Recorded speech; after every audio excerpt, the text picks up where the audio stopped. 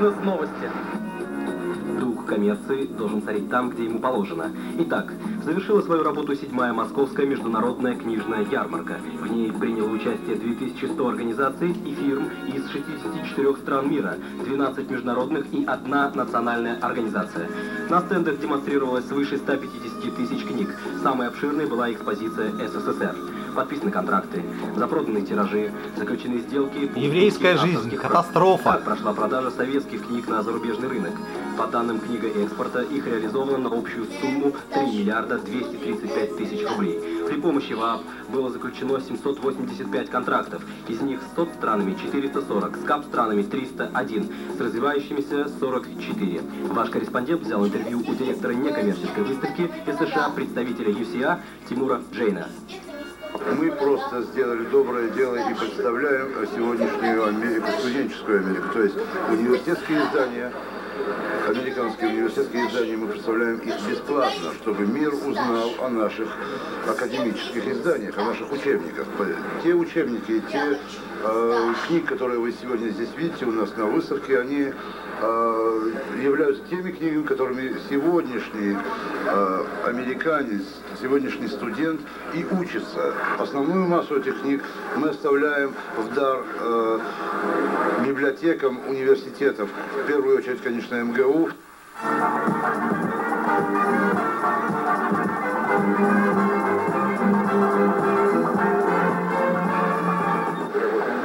Э, Я бы хотел вам представить кандидата экономических наук Алексея Шулоса. Что же хотим мы и что хотят наши западные партнеры? Я думаю, что не открою большого секрета, сказав, что западные партнеры хотят в первую очередь получить максимальную прибыль, используя нашу дешевую рабочую силу, наши достаточно дешевые ресурсы, нашу территорию и осваивая максимально наш внутренний рынок. Мы же хотим иного. Мы хотим в первую очередь э, выйти на мировой рынок, э, повысить конкурентоспособность наших товаров и получать твердую валюту. Ваши предложения? Мои предложения. Я думаю, что предложение по э, регулированию, скажем так, деятельности совместных предприятий можно разделить на две группы. Это пожарные меры, то, что нужно делать уже сейчас, и меры стратегического плана. А в качестве пожарных мер я предложил бы следующее. Первое. Нужно немедленно нам разработать программу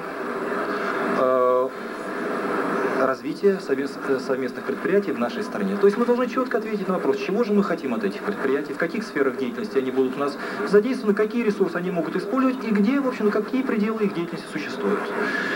Причем я думаю, что эту программу нужно э, сделать, э, разработать гласно, э, с участием э, депутатов, скажем так, и представителей широкой общественности. Э, И вообще я думаю, что к регулированию деятельности совместных предприятий нужно шире привлекать э, Верховный Совет. В стратегическом плане я скажу так, я, в общем-то, за совместные предприятия на чужой территории, когда мы даем нашу технологию, наши, наши инженерные разработки, используя чужие ресурсы и чужую рабочую силу.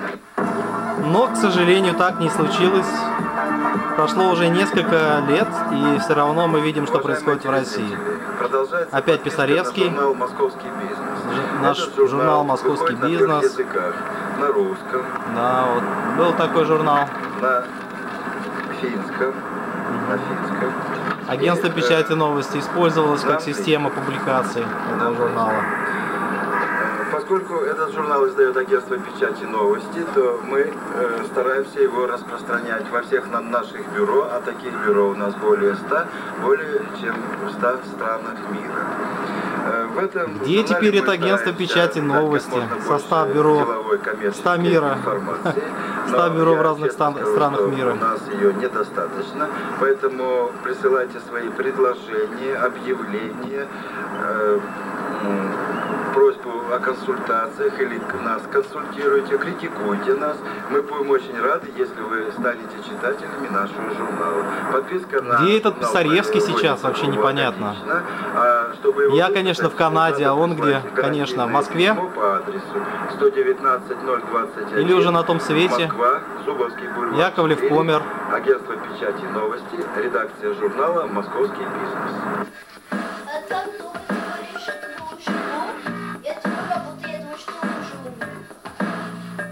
Наверное, не знаю, умер он, нет.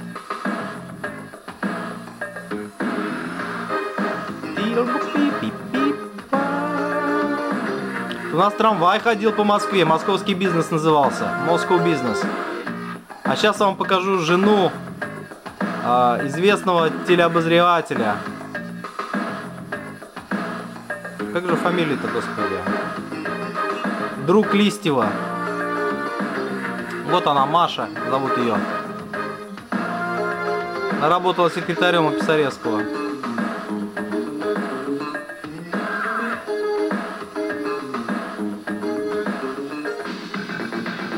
Сейчас, Петя, вот смотри, будут новости.